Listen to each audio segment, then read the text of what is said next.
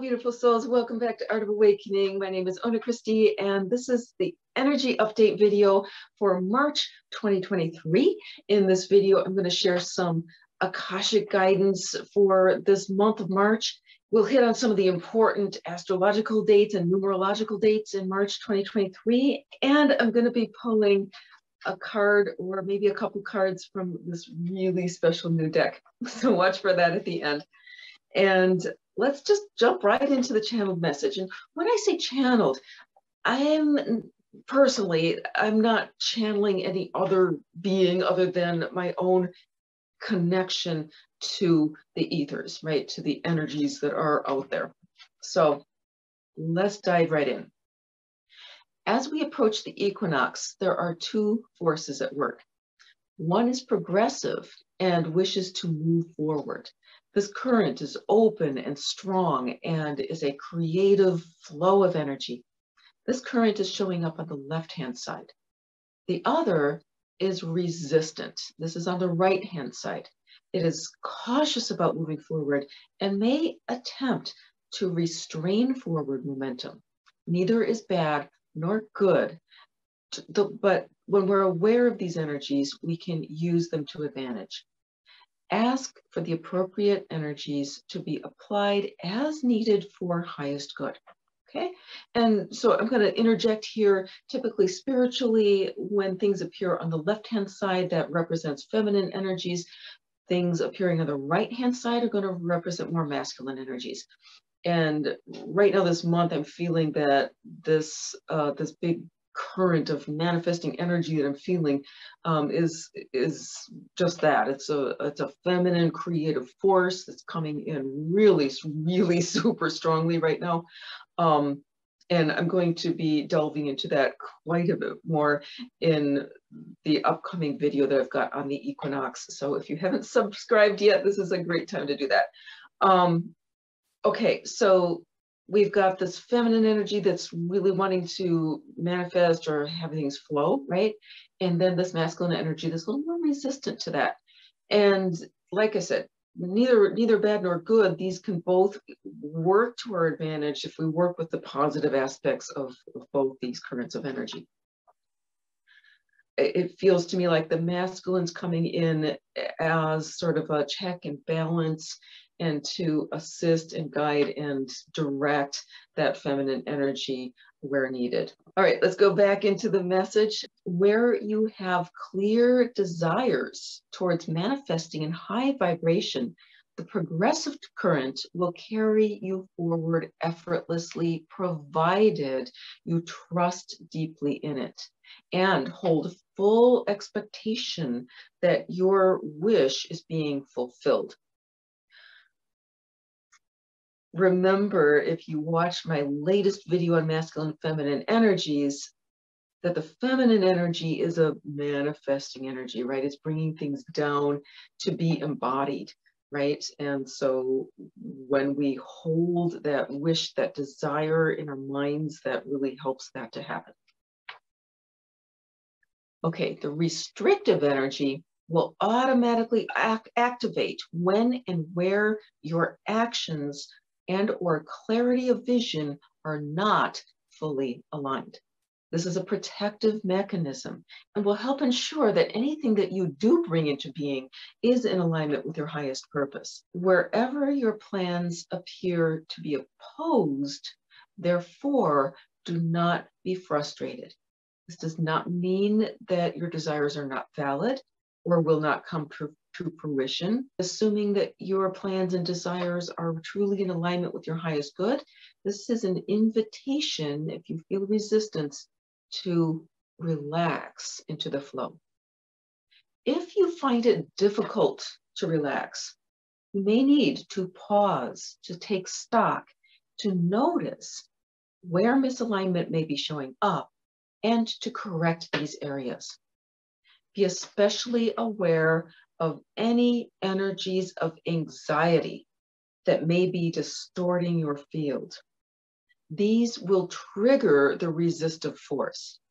Should you find that this is happening, do what you need to do to clear these energies before you move forward. This may simply be a matter of stopping for a while to calm, still, and ground body and mind until you feel uplifted and balanced enough to resume activity. Or you may be required to sharpen your focus, clarify what it is that you really want and or don't want in your life before things start to flow again. Conversely, you may need to systematically observe where your energy feels blocked and then invite the progressive energy to help you work on active clearing of these areas. So they're saying basically either you're going to be called into stillness, right, in order to get over whatever blocks that you're feeling, right? Or there may be some active clearing that you may need to do, right? Some purging. And some examples of where to look for some of these energies that may be blocked. Um, you might look for emotional resistances or disturbances. Look at clutter in the home, um, clutter in the digital files in your inbox um, disorganized finances, disorganization of any kind that can really block energy. The need for physical movement. You may just need to move your body, right? Or there may be excess weight or baggage of any kind, either physically on your body or just stuff that you need to get rid of. Okay, it could be emotional baggage um, could be digestive obstruction, it could be poor feng shui, any of these things, right? Spiritual, you know, negative entities, anything like that that might be clinging to you. Um, great time to purge this. Okay, so let's look at some important dates for March 2023, and then we'll kind of summarize what we've just heard before we go into the reading. March 7th we have a full moon in Virgo. Okay, so Virgo's this wonderful, wonderful archetype for clearing, releasing, and especially uh, hygiene, right? Working with the physical body. is perfect, of course, for spring cleaning, which is why it comes up at this time. This will be a great time to let go of your next round of physical, mental, and or spiritual baggage, as we just said, or attachments. This full moon will help right? So you might consider if you feel like there's things that you need to purge or purify um, using this full moon in order to assist with that process, right? Any kind of meditation, ritual, ceremony that you do around this full moon around forgiveness, letting go, um, anything like that will be really highly empowered. All right, so that's March 7th. March 14th, a week later, we have the peak of the Normid meteor shower. It's a relatively minor meteor shower, but it's this precursor to the annual meteor, larger meteor showers that we're gonna see in April, August, and October. So what I'm feeling around this, um, the spiritual meaning of meteor shower, you can look this up, of course, but a couple things that come to mind would be um, kind of flashes of light or or you know just spiritual assistance being showered upon you.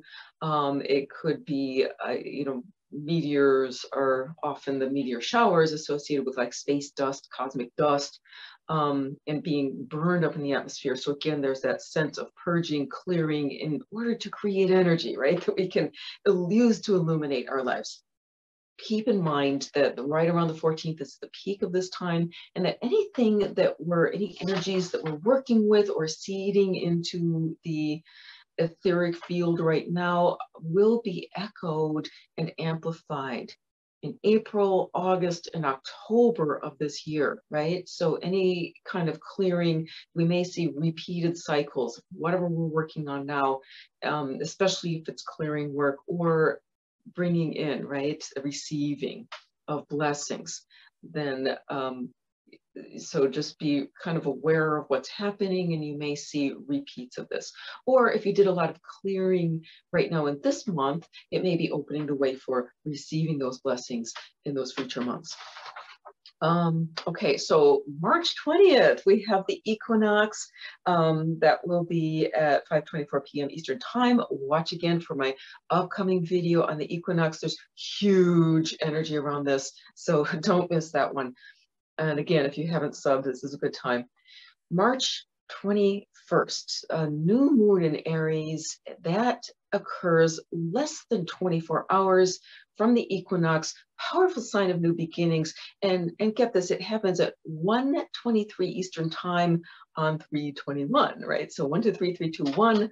Um, I haven't even looked into the numerology of that, but it feels like it's significant, right? This, this flow, and there's a flow to it.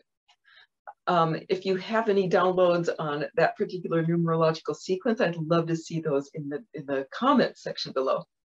Okay, and then finally, a few more important dates in March 2023.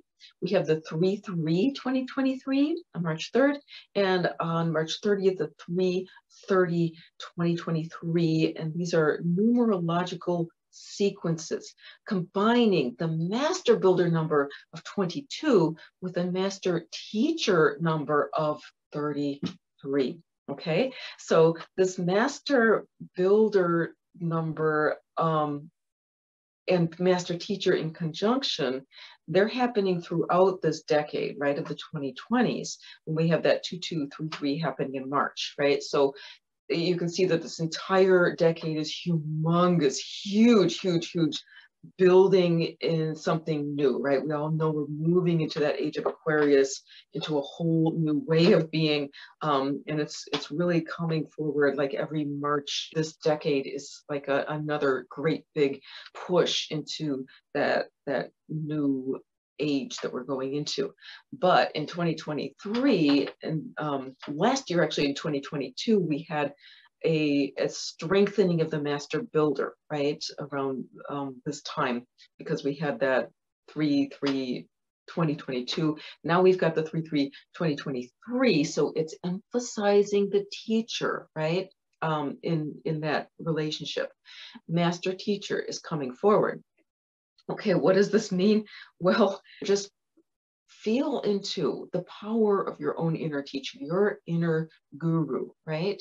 But know that we've got everything that we need. You're going to be given as long as you can relax into it, right? As you can hold yourself open, hold your heart open. And we're we're really what we're doing is you're we're calling in the Christ stream, the Christ impulse. I'll talk a lot about that in the next video. Um, but and you don't have to be Christian. It has really, really, it's not it's not a religious thing. It's a, this is the direct connection between yourself and the creator spirit, right? Source, Godhead. Um, so we want to really call on that right now, and especially throughout this decade, always, but especially throughout this decade, this month is going to be a really, really powerful opportunity to really open and develop that connection. And Uh, the other thing that we want to, a couple other things that we want to be aware of around this idea of the master teacher is that everyone that comes in your field is, is here. We're all here to teach each other. And that even challenges and or challenging people, challenging situations, sometimes those are the very best teachers. So be looking for the lessons in everything. What can I learn from this? What lessons can I take away from this? No matter what it is, right? So being really the the the divine student. Um, all right, so these numbers, the 3 3 2023, 330 2023, of course, they hold space like bookends throughout the month of March. And um, these number vibrations really underscore the incredible power of this month, this time right now that we're in. So brace yourself. Um, also, there are three more dates, the, the March 2nd, 3-2, 2023, 320, 2023, and 322, 2023. These are also power dates that carry harmonics of these numbers. Okay, so, so to summarize, um, this is an incredibly powerful change of season energies right now okay? Which means a lot of opportunity for cleansing and purification. And that's true whether you're in the Northern or Southern hemisphere, okay? Um, in the Northern hemisphere, you're gonna feel probably more gearing up for growth, for manifestation, um, you know, manifesting action. And in this, if you're in the Southern hemisphere, it may feel more like a preparing for a deep, deep introspection right? Um, either way, it's a great time for clearing. Every equinox has really powerful energies, but these this year are just over the top and for reasons I'll explain in the equinox video. Um, all right, so get ready for some deep, deep uh, spring or fall cleaning. Um, and one more thing before we do the reading, if we read between the lines of all of this, we do have a lot, a lot of help. Okay, so these energies are like birthing contractions. It's like a giant portal opening. And it's really important to remember that we're not alone, right? Anytime you have portals opening to this huge extent, you're going to have, it's going to attract a lot of spiritual beings, okay? We know that there's a lot of benevolent spiritual assistance for us, right? Um, so you can call on your star family, you can call on your angels, you can call on your ascended masters, masters whether it's Jesus or Buddha or Kuan Yin or um, I'm getting white buffalo, calf woman, whoever it is, right, that you resonate with, your, you know, your own personal spirit team, they're all there to assist. And we just need to remember to ask, right? Again, the whales, if you listen to my solstice, they're still with us, very much so. Um, it, there's just so, so much support. We can support each other as well. Okay, so, and speaking of supporting each other, um, if you are catching this video right away, my next Lightworkers Cafe free gathering for star seeds is going to be on February 22nd, and that's going to be all about spiritual protection. So I'll put the information to join that in the um, description box below. All right, so let's go into the reading for this month. And I am so, so excited to introduce this deck. Um, this is the Bee Sisterhood Oracle. And if you've been following me for a while, you may remember that I've been every once in a while, I'll mention this. I was originally going to be the only artist on this deck, but somewhere along that line, I really got the message strong from Bee Spirit. It's like, you're not meant to be the only artist on this. and, and so we opened it up and there's a whole group of artists that are um, have contributed to this deck. And right now, this is a prototype deck. So it's like the back will look like this. And these are the cards. Um, but it's this is just when I had to actually cut these, these cards individually out. There's going to be a Kickstarter um, we're expecting that to launch um, sometime later this spring, tentatively around Beltane, uh, early May. But um, if you're interested in um, getting updates around this deck and all the details on when it will be available, just go to beesisterhoodoracle.com. I'll leave the link in the description below. And uh, you can just sign up to receive updates. I'll be giving updates on this as well. Okay, so right now there's not even a guidebook yet. Uh, we're working on the guidebook, but um, I just couldn't wait to bring these cards out. It just felt so resonant with all this beautiful feminine mm, uh, manifesting energy to have the bees with us. And so we're gonna, I'm just gonna ask for highest and best guidance, just tuning into the beautiful spirit of bee, the spirit of cooperation and pollination and fertilization and divine feminine buzz, right? And calling on Sister Bee to support us with a message of support here. Let's see what's going to come forward. And the card that's coming forward, oh, I love it. Um, this was actually the last card, and it's number 48 out of 48 cards, and it is Hum.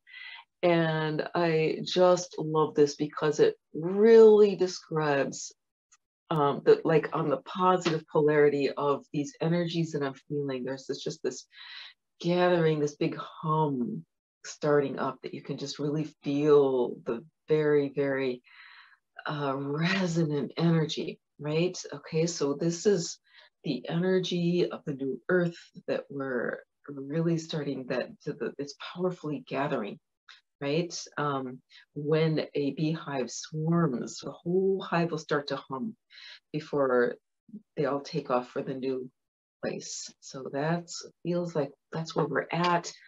I will do a video on the swarm coming up here, but uh, for now, just this wonderful hum. And hum also just reminds us to feel into the vibration. And there's something really, really protective about the act of humming, right? That it, um, if you've ever done toning work, right, where you just hold the tone. There's also a breath work where you, it's like a bumblebee hum, right, that you can do. These practices are extremely, extremely protective, and they will also very much raise your vibration because that's the really most important thing right now to remember remember that where there's a lot of purging, there it may feel very chaotic, it may feel difficult, it may feel challenging, whether or not you're feeling those challenging energies yourself or hearing it all around you, right? There may be others who are going through difficult times. We come back into that uh, hum vibration, right? Just really tune into the hum of a beehive when it's working together, right? a, a good happy hive. And that will really protect your field. It's like, and even the act of humming creates this incredibly strong vibration around you that will act as a shield, as well as helping to break up and purge, it can really assist in this process of purification. If you've got anything to clear out of your system, clear out of your aura, clear away, working with this vibration of the hum, you can actually meditate like a big breath and or the primal om, it's om hear that hum, right? And it really brings us down, grounds us into the world in a way that, and it helps us to radiate that energy out so that anything that might be trying to drag us down, it just can't hold up, right, to, to that kind of energy. Alrighty, so thank you for sticking with me for so long. Uh, there's a lot of energy here in this month. Enjoy and I just have one request of you. If you found this video helpful, please give it a like eh, because that really helps with the algorithm, get it out to more people. If you feel inspired, do feel free to share this video if you feel like it may be helpful, um, either on your social feed or to individuals that you feel might benefit. And always remember, you were born to be free.